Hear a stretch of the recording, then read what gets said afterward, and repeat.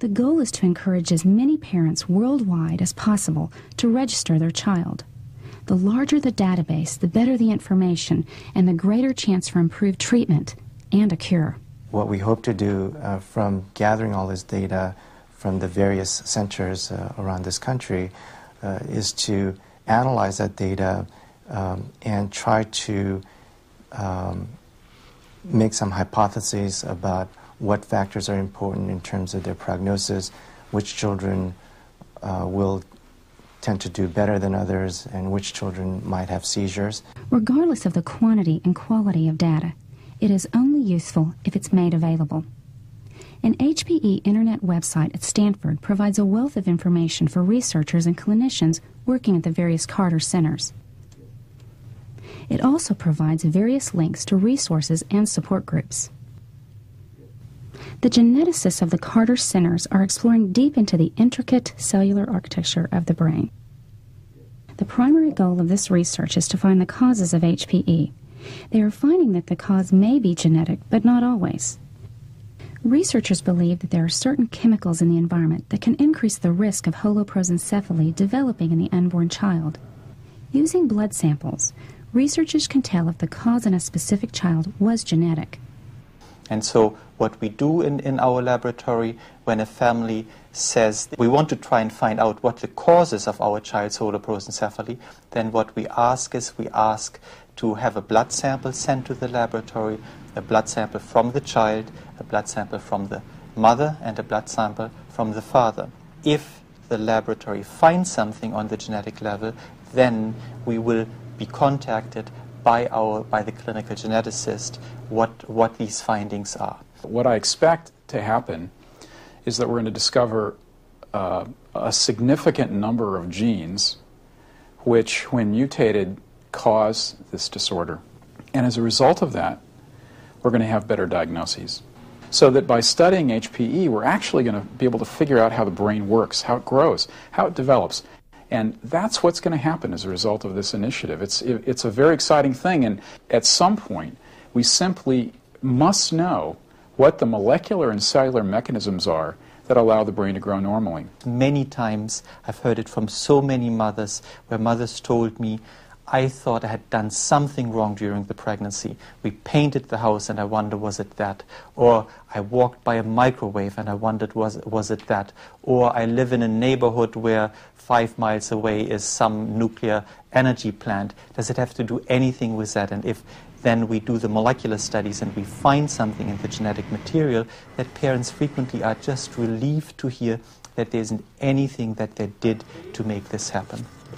Other times, families are relieved when they hear that this is new in the child, it's not present in, in either the father or the mother, and what that means is that if this family plans to have another child, then the risk of having another child with holoprosencephaly is very slim. She was six pounds, 9.6 ounces, and she's up to seven. While researchers focus on cause and prevention, therapists center their efforts on day to day, hands on clinical management of the disorder. An interdisciplinary staff works with patients and their parents.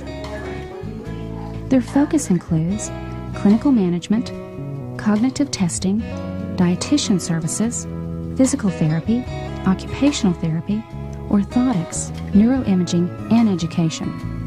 Children are typically seen by a physical therapist to help them be able to function in their environment. It may be as simple as being able to hold their head up so that they can see a variety of toys, interact with their family. We typically see patients with uh, some type of motor deficit that could be spasticity or muscle tightness or muscle weakness. And so as an orthotist, we fabricate uh, custom plastic braces typically to help pre-position the feet uh, for walking or provide some type of uh, device to help the child stand. Children with HPE have uh, several feeding problems. Uh, certainly they can be born with a cleft lip or palate. Infants lots of times have difficulty coordinating their suck, swallow, and breathe sequence. And as they get older, sometimes they develop problems with chewing and swallowing. The dietitian can uh, recommend the appropriate formula for the child and also recommend the appropriate feeding equipment. and the dietitian works with the social worker to help the family obtain funding for the needed formula and feeding equipment. We try to incorporate our children, um, such as like Chance, um, being able to use the different types of equipment um, or things that are new, such as EMG equipment, um, eye gaze equipment, computer access, or switches. And this allows them to communicate with their parents. It allows them to communicate with their peers, and so that they can play on a developmentally appropriate level with their um, peers. They may have very good cognitive skills, but don't have the motor control to be able to communicate. The Carter Centers represents a unique partnership a collaboration between families and the professionals who lead research for new treatments and ultimately a cure. For the centers to develop new treatment options and to conduct ever more targeted research, it is imperative that families play their part. It is critical that they register and contribute patient blood samples. But perhaps just as important is that they contribute to the overall spirit of hope that enlivens the family resource centers, the labs, and clinics where such important work is being done. New treatments, better outcomes, a cure. Believe it and it will be. Where is your ice?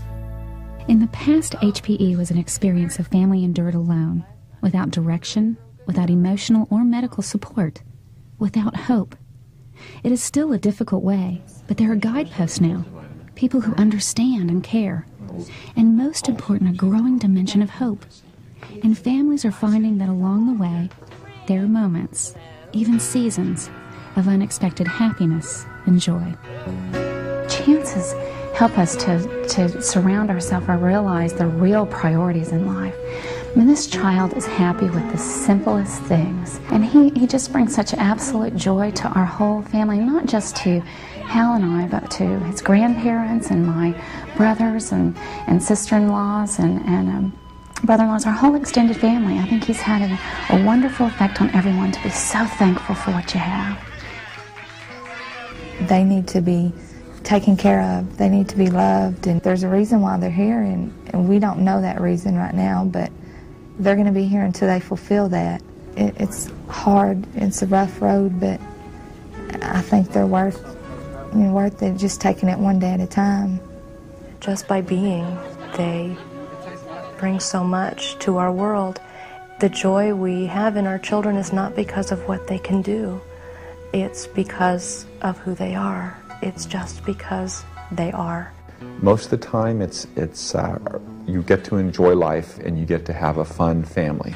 And you might have to have wheelchairs, you might have to have therapists, but when you're around your child, it's really fun. Seth, Danny, Jessica, Chance. They are mysteries of flesh and spirit, half told tales, unfinished poems. But that does not make their lives less significant or less noble or less deserving of our love. Sometimes these children are limited in what they can do, but the profound and immense value of their lives is not in what they do, but in who they are and our lives are far richer for having them traveled with us along the way.